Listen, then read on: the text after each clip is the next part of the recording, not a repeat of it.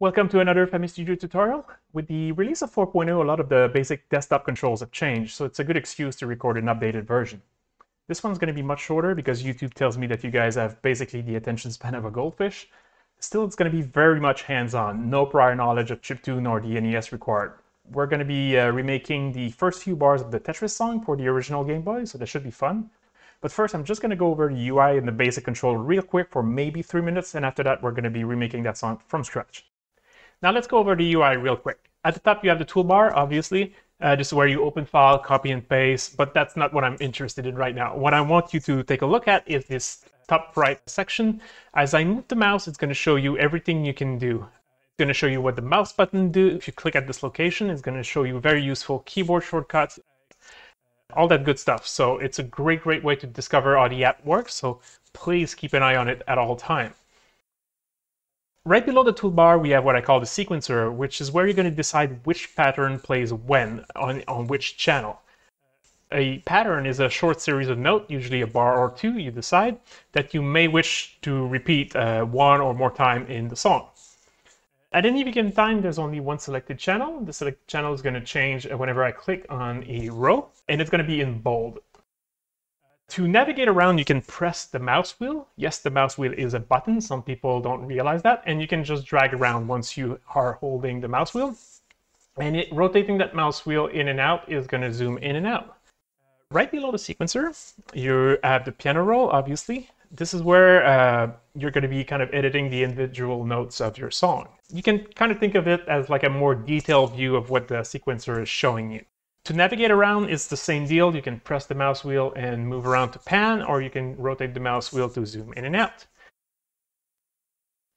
In the sequencer here at the top, you're going to notice this gray rectangle. This shows you what the piano roll is actually looking at right now. So as I move, zoom in and out, you're going to see this gray rectangle change shape. So if you ever get lost and you don't know where you are, you can always find this gray rectangle and locate yourself. Finally, the panel on the right is what I call the Project Explorer, which contains all your song, all your instruments, all your sample. Uh, this is where you're going to be editing instrument. This is where you're going to be changing the tempo settings of your songs, maybe. At any given time, same rule, there's only uh, one selected instrument and it's going to be in bold. Clicking uh, an instrument makes it the new selected one. Uh, so the rule is going to be that when you play uh, the piano here, the selected instrument is going to play on the selected channel.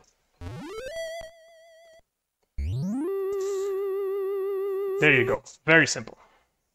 So in this tutorial, we're going to be remaking a very simple, very approximate version of the few bars of the Tetris song on the original Game Boy. It's not meant to be accurate or good in any way. It's just an excuse to kind of show you the basic features of the app. The sheet music I'm going to be following is on MuseScore, so there's going to be a link in the description if you want to follow along. Here, I'm just going to press the new file button here, and we're going to start from scratch. The first thing we're going to do is to input the main melody of the song. We're going to do this on the Square One channel. Here I'm just going to create a new pattern by clicking in an empty space. And the uh, piano rolls are going to automatically navigate to this location. To create new notes, you can simply click in the piano roll anywhere. Or you can click and hold to create longer notes. By default, the, the notes that you create are snapped to the snapping precision, which is currently set to one beat. Right now, uh, if I want to set it to a shorter value and create shorter notes, there you go. Or I can disable snapping entirely to create notes however I want. To delete notes or pattern, you can simply double click. If you want to go slightly faster, you can also shift click. And here, I'm just going to undo everything we just did. That was just an example, and I'm just going to do a bunch of Control Z. Besides sticking with the mouse, there's another way we can go about entering this melody we can use what's called recording mode, which is toggled by pressing the record button in the toolbar. When enabled, it will record and draw all the notes in the piano roll that we play, either using the piano here, or using a MIDI keyboard that's next to me, or using QWERTY keyboard input, using the keys of the, of the PC keyboard. When we activate it, you're going to notice a few things turn red. Obviously, the, the record button turned red, but more specifically, the seek bar turned red. Uh, this is kind of telling you where the next note is going to be recorded. Also, the snapping magnet that we just discussed turned red. What this means is that the, the durations of the notes that uh, are going to be recorded will depend on the snapping that you set here. Keep in mind, this is not a real-time recording, this is a note-by-note -note recording. So here at a quarter beat, which is a 16 note, or if I want to record entire beats, there you go, I record longer notes. You can press backspace to just go back and delete, or if for some reason you don't want to record a note at a specific location, you can just press tab and uh, and go ahead like this. So I can do record tab, record tab to just kind of skip ahead and not record anything. Again, here I'm just going to be undoing all of this and do a bunch of control these. So here, first thing I'm going to do, I'm going to set my snapping to half a beat, which is an eight note, which is what we want. Now let me input the melody of Tetris real quick using my MIDI keyboard. If you don't have one, you can simply click to draw like I showed you earlier. Or you can use the QWERTY keyboard input, which uh, the notes are displayed on the, on the piano. All right, so I'll be quiet for a moment while I'm recording this.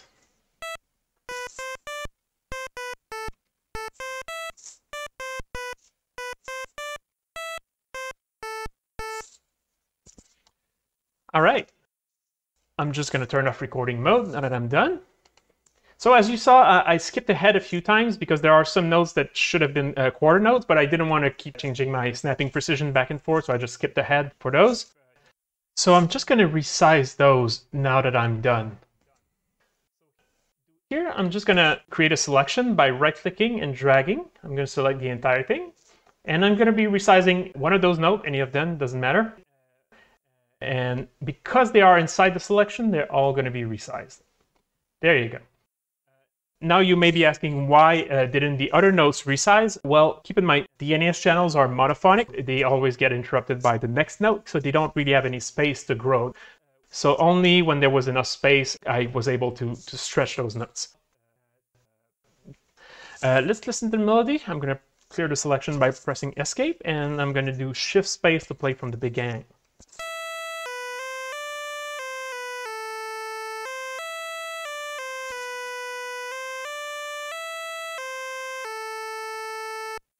So if you're like me, you probably remember this song being quite a bit faster. Here we're going to head up to the Project Explorer and we're going to click the little gear icon next to our song here. Or alternatively, you can right click and select Song Tempo Properties. So here I'm going to set the BPM to 128 or as close as I can get, 128.6. While we're in this menu, we might as well make the song shorter. Uh, the song uh, length is uh, the number of patterns uh, we want in our song. We're only going to be redoing the the first four bars. I'm going to set that to four. Might as well give the song a proper name and maybe a nicer color, whatever your favorite color is. And I'm going to be using the default value here. It, it is asking me a question here.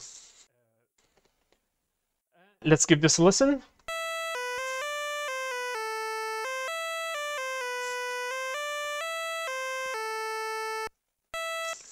All right, one thing I want you to pay attention to is those notes at the end. Do you notice how we can't hear the distinctions between those, those last two A's? This is just due to the fact that right now we're just using that kind of default uh, instrument one that was creating for us.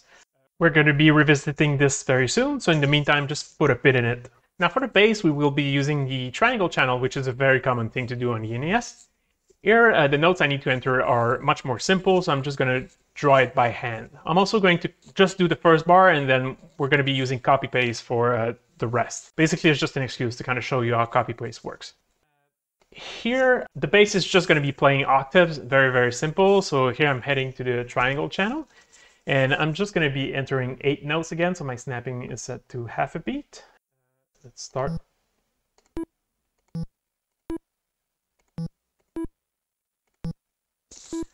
There you go, very simple. Now let's give this a listen. All right, cl close enough. Now we're just going to be selecting this, this uh, one bar that we did and just copy pasting it and transposing it. To create a selection, I can just right click either in the header or in the background here, like we saw earlier. I'm just going to do Control C and I'm going to be moving my selection here.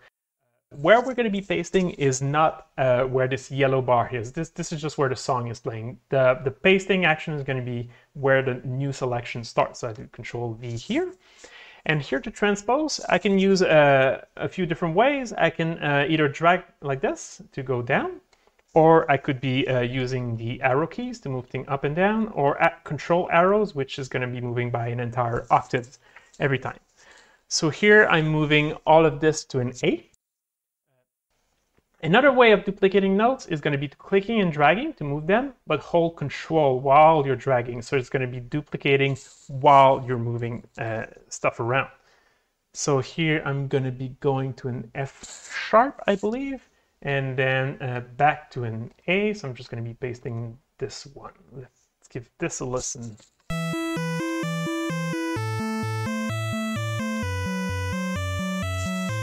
This is completely a mistake. It's supposed to be a G sharp. So I'm not sure what happened there.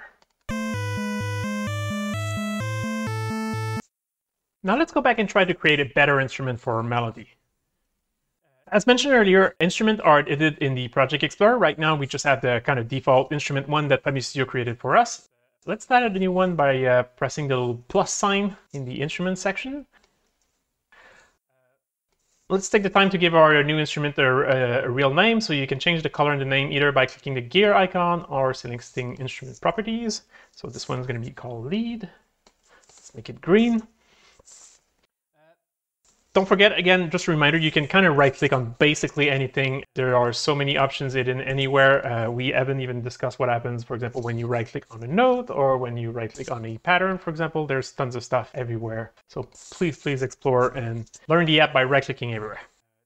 All right, so the four little icons next to an instrument represent uh, the envelopes that that instrument has or may have an envelope is just something that can change over time. So like the, the pitch or volume or things like that. So uh, right now, for example, uh, if I click on the little speaker icon here, it's going to open it up in the piano roll. So now the piano roll is kind of in uh, instrument editing mode if you want.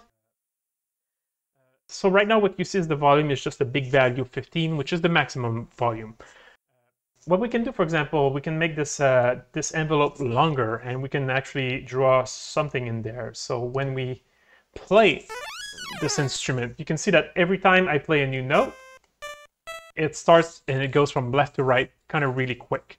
Each of those columns represent a frame on the NES, which is 1/60th of a second. So we can we can do a lot of things with this. I'm not going to cover everything here, but the, there are things, uh, for example, you can set loop points and release point to kind of create attack and releases. And you can also uh, edit the pitch, for example, if you want to create some kind of vibrato. There you go. It's a really powerful tool, but we're not going to be using any of that today. We're just going to be playing with the volume here. So here the instrument I'm going to be uh, creating is very simple. I'm just going to go from 15, which is the maximum volume, to about halfway uh, 8, for example, and that's going to be our instrument. There you go. Actually, that's not true. Another parameter we can change is the duty cycle, which is this kind of little square waveform here, the first icon. The duty cycle affects the kind of uh, the shape of the square wave that we're going to have. So here we're just going to set it to 2. We're not going to be uh, changing it over time. We're just going to use a fixed value. But 2 is going to create that kind of perfect square wave that we, uh, we're used to. There you go. Sounds a lot more like a, like a Game Boy now. Now, if we go back to the Project Explorer, we can see that the two envelopes that we actually set values in are now lit up. Now let's go back and replace that default instrument that we've been using this whole time. Uh, let's replace it from our the melody. So here I'm just going to go on the square channel and basically select everything. And I'm just going to create our new lead instrument and simply drag it over the selection. And there you go. We've now replaced the instrument. Now, if you notice, the default instrument one now is only being used by the bass now, so we might as well uh, change its name and call it bass. And I like to make my bass brown because it's easy to remember. All right, let's give this a listen now.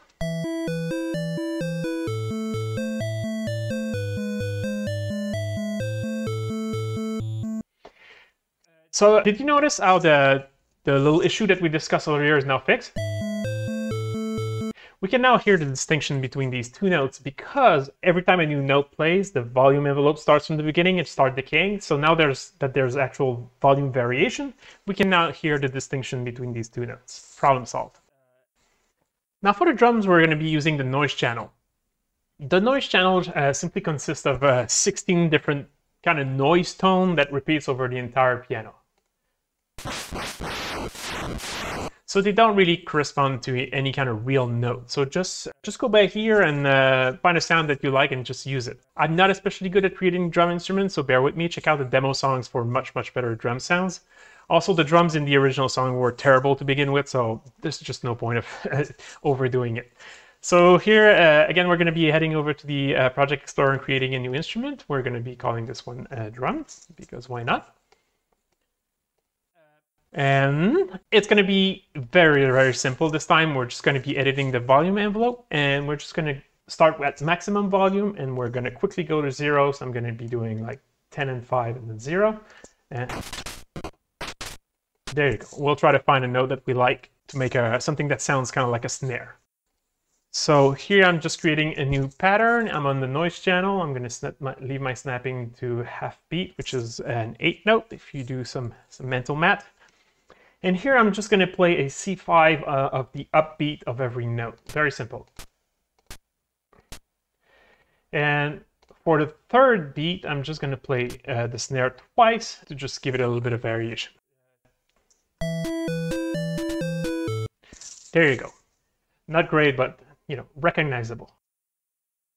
So since this is going to be our, our drum beat for the entire song, uh, we're not going to be using copy paste here. We're going to do something different. Patterns, uh, we can copy patterns, but we uh, can also instantiate pattern. An instance of a pattern is a copy that's kind of linked to the original. So I can move a pattern by just dragging it like this, but if I hold control while I'm dragging, you're going to see that it shows a link icon. The link icon means that it's creating an instance of that pattern. And you can see that it has the same name and the same color. And if I set a name to the pattern, which you should really do uh, to keep things organized, I'm not going to do it here. And I change the color, you can see that it changes all of them.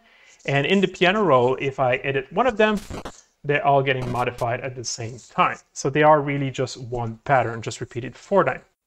Now let's give this a listen to see our progress.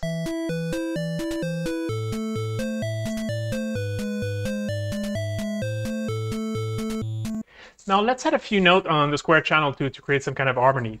Here I'm going to head over to the Square 2 channel and create a new pattern. But you'll notice I cannot see Square 1. It would be nice to kind of see it, at least to enter harmonies at the right time and know that I'm correctly aligned. But Studio is, is a very much uh, a channel per channel editing software. But there is a way. If you click on the little eye icon here next to Square 1, you're going to see that it lights up. What it's going to do is going to show me kind of a see-through, like a very dim version of Square One, no matter which channel I am on. So we can kind of use this to align ourselves to the main melody and enter our harmonies, which I'm going to be doing right now. So I'm going to be selecting our lead instrument here, and I'm going to try to enter the harmonies correctly.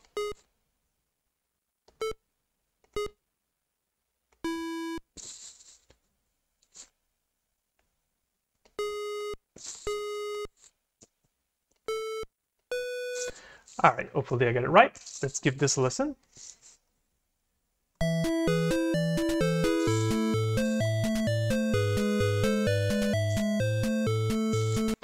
All right, pretty good. My only complaint is that I think it's too loud. So we saw earlier we can adjust the volume per instrument, but I think here creating a, an entirely new instrument just for harmonies would be completely overkill. So what we can do is that we can use the effects panel to kind of affect some effects kind of globally, uh, regardless of the instrument. So here I'm going to press a little triangle here to expand the effects panel. So as you can see here, there's a bunch of effects that we can change, but right now we're just interested in the volume. So what I'm going to do here, I'm just going to be zooming at the beginning of the song, and I'm going to be setting a volume of 8. 8 is about halfway, maximum volume is 15, so it should sound a little bit better. Let's give this a listen.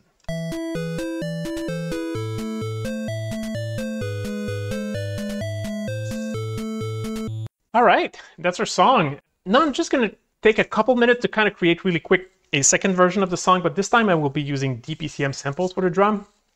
It's not going to sound good in any way. I just want to be sure to touch on, on all five of the NES channels in this tutorial. So DPCM samples are very low quality samples that the NES supports. They are usually good enough for drums and bass, but not much else unless you're like a chiptune god. First thing we're going to do is duplicate our song because we kind of we want to keep this version uh, for later. So you can right click on a song and do duplicate. And we're going to be calling this one Tetris DPCM and give this a different color just to know what we're doing. So in this second version, I'm going to be deleting everything we did on the noise channel. To create a square selection in the sequencer, you can just right click and just drag like this. And I'm selecting all of our drum patterns and pressing delete. Next thing we need to do is to load up some samples in the Project Explorer. There, as you can see, there's a DPCM sample section here. By pressing the little folder icon, it's going to ask you to open some files. For samples, you can load WAV files, which you should be familiar with, or DMC files. DMC files are a little bit more specific to the NES community, but you can convert from one to the other using FamiStudio. I'll put a link in the description for the two DMC files that I'm using right now. I believe they are from Gradius 2 or Castlevania 2, I don't remember. So here I'm just going to open both of them. There's a kick drum and a snare. So here you can see they are loaded in our Project Explorer. I can listen to them by pressing the play button. Cool. As you can see, they don't sound really good, but they're sort of recognizable. The DPCM uh, sample editor in FamiStudio is actually super powerful. If you click on the little waveform icon in Project Explorer, you can actually uh, change the volume. You can do a bunch of stuff here, uh, edit the waveform but we're not going to be doing any of that. There's also a bunch of parameters here if you want to kind of adjust the pitch and do all kinds of uh, funky stuff. But here we're not going to do any of that. The next thing we need to do before we can use our samples is that we uh, need to assign those keys of the piano. Here uh, in the Project Explorer, there's this DPCM instrument that's that has been there since the beginning. You cannot delete it, you cannot rename it. It's always there. It's always great and at the top. But if we click on this little uh, waveform icon next to it, it's going to bring up a different view in the piano roll where you can assign samples to keys of the piano. So here I'm going to do something uh, really simple. I'm going to be uh, dragging my bass drum to C and my snare to D. So, so I'm going to be able to use those using the key C and D respectively. I'm going to head over to the DPCM channel and I'm going to be sure that the DPCM's instrument is selected and I'm going to be entering my uh, drum here. Again, I'm going to be doing kind of the same uh, drum pattern that we've been doing before. And I'm going to keep those two uh, snare hit on the third upbeat. And just like we did before, I'm going to be created instances of that for the rest of the song. Let's give this a listen.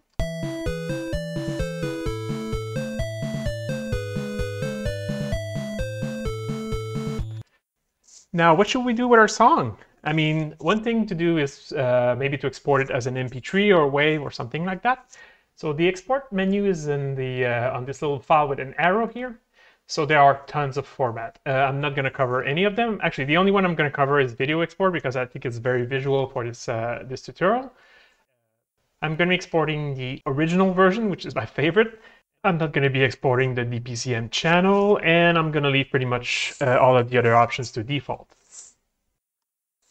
It's going to take a few seconds to render, depending on the duration of the song.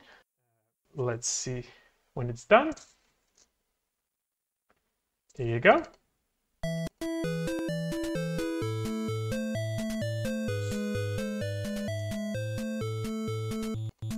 Looks pretty cool, huh? All right, congratulations for making it all the way to the end of this very short tutorial. Uh, to learn more, check out the documentation, the demo songs, or come see us on Discord if you have any questions. As I said earlier, uh, we only use a tiny fraction of the app, so there's much, much more to learn. Anyway, good luck in your chiptune career. I'll see you soon.